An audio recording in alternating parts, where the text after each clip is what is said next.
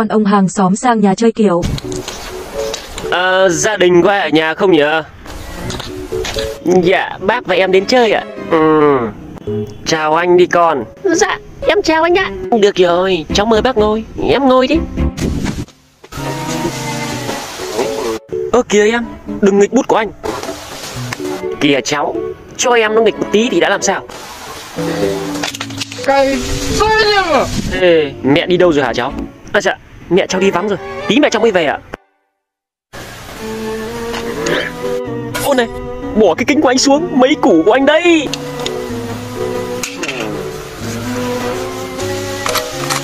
Kệ cho em nó nghịch một tí.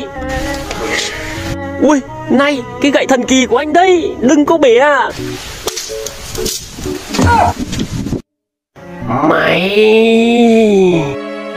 Thôi em nó còn bé Chưa biết gì Thế ai bảo cháu không để gọn đồ đạc vào? Bác Ô bác ơi Hình như là vợ bác về thì phải. À, Vợ bác về à? À này về quá ơi. Ê, Bác cứ về đi Để em ở đây cháu trông cho.